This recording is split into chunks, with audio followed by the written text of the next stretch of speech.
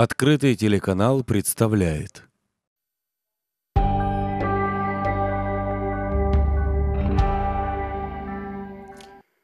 Во всех предыдущих войнах мы не имели никакой международной поддержки.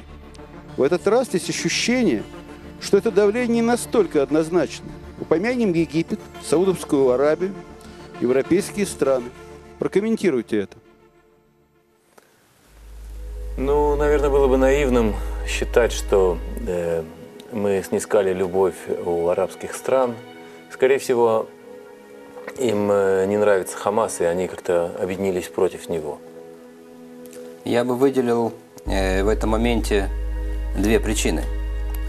Первая причина – это геополитические реалии, потому что э, всем понятно, что альтернативой Израилю сегодня может быть только радикальный ислам в самых э, грубых, диких своих формах. И поэтому даже такие страны, как Египет и даже Саудовская Аравия, проматерь ислама, понимают, что э, нельзя делать ставку на новую э, арабскую революцию, на новую арабскую весну. Это приводит к краху, это приводит к войнам и к смертям. А вторая причина – это, безусловно, та альтернатива, которую мы сейчас показываем миру нашим объединением. Люди видят и люди чувствуют, что в нашем объединении есть добрая, положительная сила, от которой исходит тепло, исходит любовь, а не смерть и разрушение, как от радикального ислама. Что первично и что вторично в этом? Безусловно, наше объединение первично, без сомнения.